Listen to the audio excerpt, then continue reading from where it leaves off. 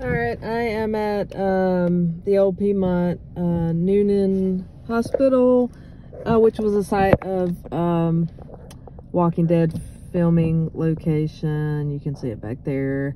Uh, they called this Grady Hospital in the filming. Um, Piedmont Newnan, sorry, not Piedmont Fayette, Piedmont Newnan uh, ended up building a new site and this closed down. And uh, it would have been, um, I would think, impossible to film at the real Grady Hospital due to it being a level one trauma center in downtown Atlanta.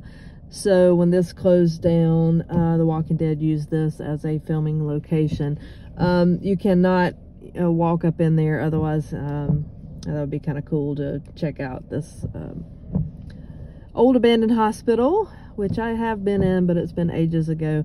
Um, anyways, I was in the area, and thought I would stop by and show you guys this uh, filming location for The Walking Dead. Hope you have a great one. Bye.